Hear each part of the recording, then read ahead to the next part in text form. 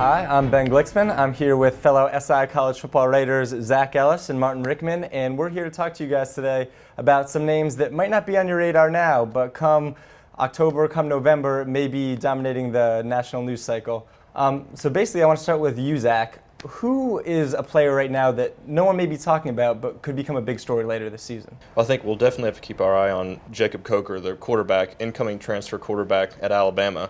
We last saw Coker losing out the starting job to Jameis Winston at Florida State last year. He transferred to Alabama, wasn't there during the spring, but people are already really high on him and almost anointing him to be the guy that's going to take over for the departed A.J. McCarron, who was one of the more you know successful quarterbacks in Alabama history. People don't know much about him right now, but he's a guy who I think if you can go in there and be as successful as people expect him to be, especially at Alabama under offensive coordinator Lane Kiffin, who has had success with quarterbacks before, people will know who he is in the SEC come the end of the season. And it's not like he doesn't have weapons. He'll come in, he'll have Derrick Henry, he'll have T.J. Yeldon, he'll have Amari Cooper, he'll have O.J. Howard, he'll have playmakers. But what do you think as far as just the pressure coming into a situation like this? McCarron was the guy for so long championship quarterback. What do you think it's going to be like the year after with a guy like Coker coming in and them expecting, after coming so close last year, to be in the college football playoff. Yeah, I mean, we've already seen Nick Saban already tempering expectations as he always does when asked about Coker. The guy wasn't even there, you know, during the spring. He's arriving for the fall, and people don't know what to expect. But I mean, coming into a situation like that, you're right. He has the talent.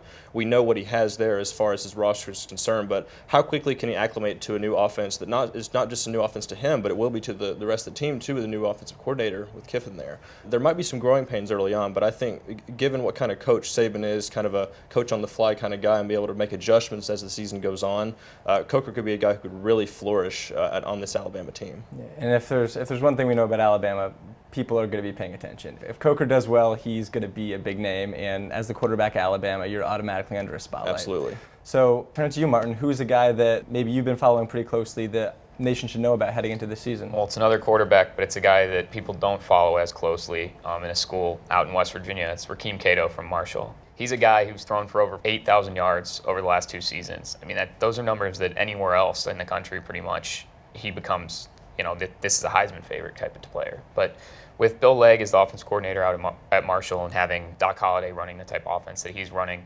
Cato's comfortable, and he's a senior.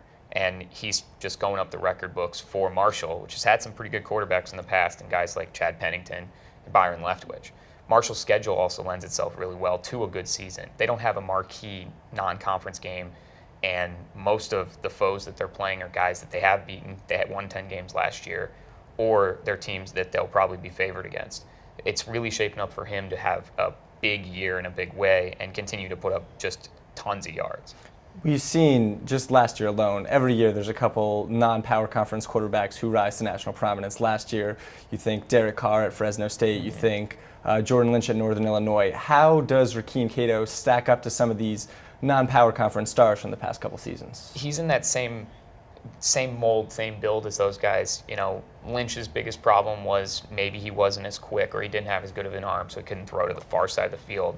That got exposed, obviously, in the draft. You know, Carr had some issues as well. People were worried about his deep ball. Cato's problem is his height. He's listed around six foot, but he's not. You know, he's one of those guys who's maybe 5'10", 5'11".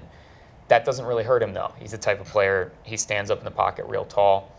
He bases his game around a guy like Russell Wilson, who also wasn't super tall. He can run the option all right, can make the deep ball reads, but he needs his wide receivers to step up. He's got one guy he's been playing with, Tommy Shuler, for a long time since he was a kid. But outside of Shuler, they haven't had a consistent threat. They lost their best tight end, Gator Hoskins, to graduation, and it's just a question of who else is going to catch the ball for them? Well, if there's one thing we know, everything that we basically say in July and August is going to be wrong come the season. So there's going to be guys who uh, rise on the radar. We saw this yep. last year with Tre Mason at Auburn, Andre Williams at Boston College. Some guys are going to shine. So, hey, maybe this year it's Jacob Coker and Rakeem Cato. For SI.com, I'm Ben Glicksman here with Martin Rickman and Zac Ellis.